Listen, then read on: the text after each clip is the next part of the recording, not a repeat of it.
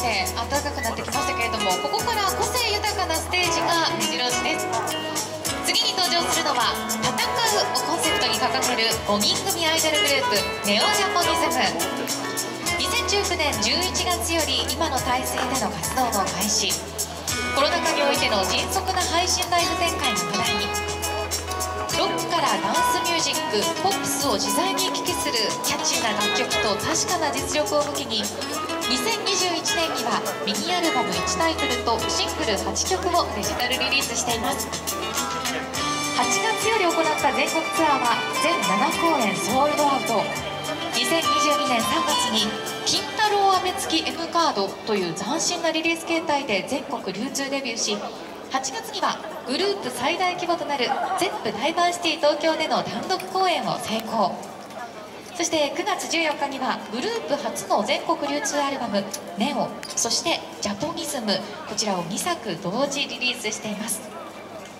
それではお待たせいたしました。力強いパフォーマンスを披露していただきましょう。ネオジャポニズムの皆さんお願いします。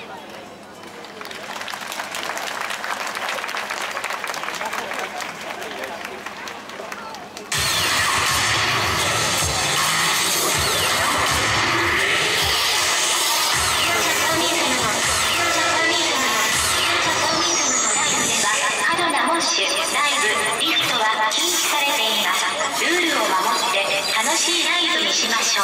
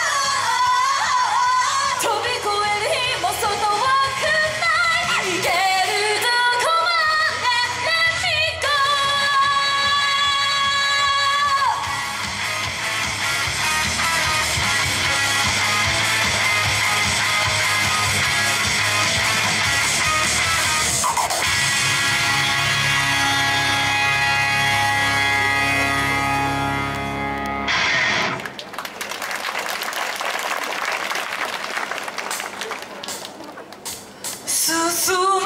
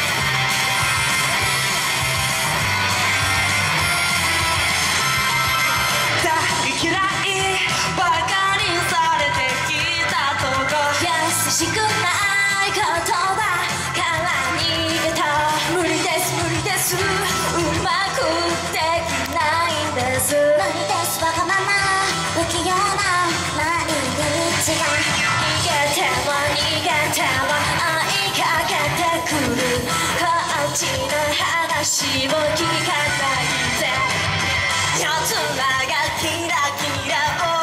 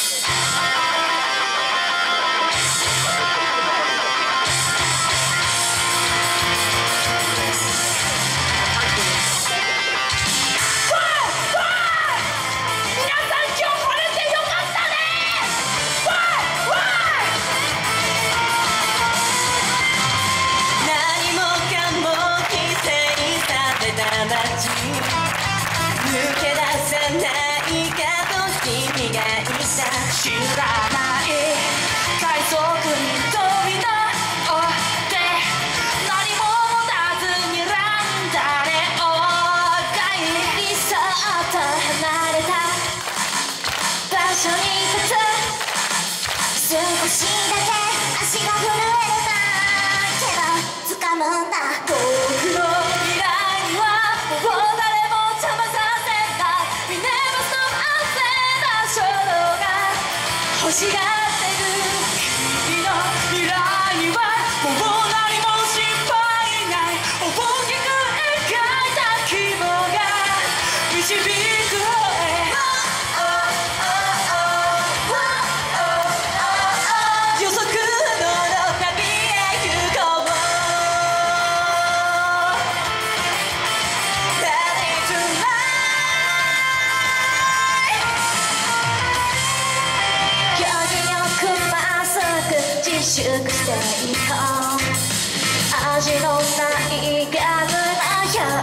She'll be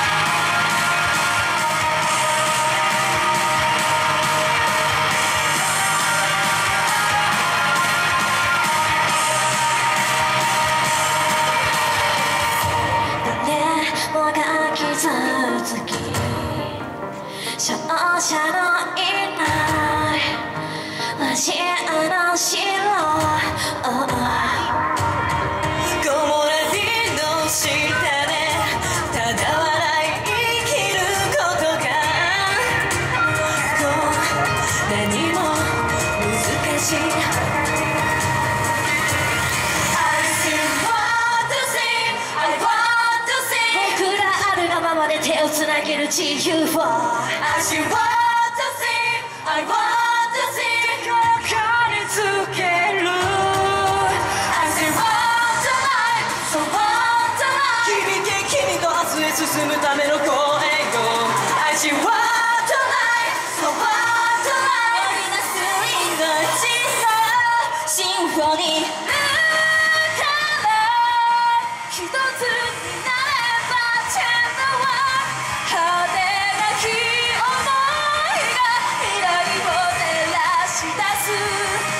to go.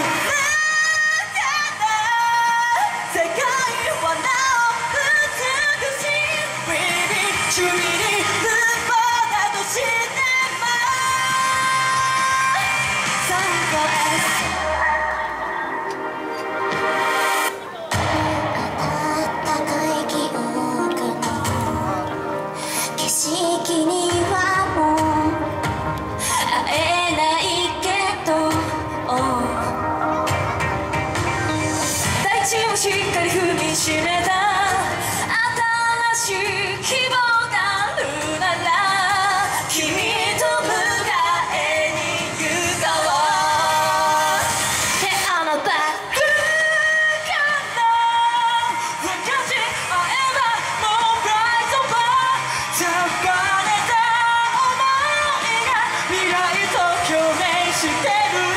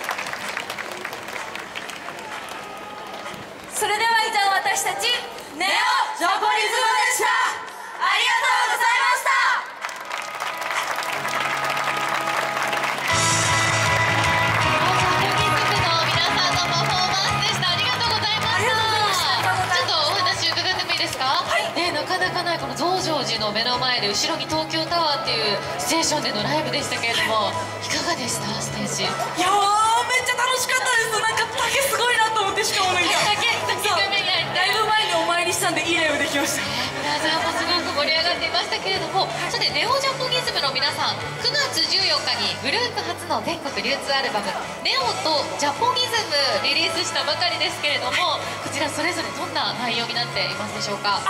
えっとえっとですねあのネオあの今回2枚リリースさせていただいたんですけどネオジャポニズムの方あネオの方もあとジャポニズムの方なんですけどあのこっちあの作詞作曲させていただいた今流れてる「あの幸せなんだ」とかも収録されてるのであの両方どちらともすごくいいアルバムなので皆さんぜひあのよかったら聴いてください。お願いします。お願いします。皆さん引き続きネオジャポニズムの今後の活動にご注目ください。ネオジャポニズムの皆さんでした。ありがとうございました。ありがとうございました。ありがとうございました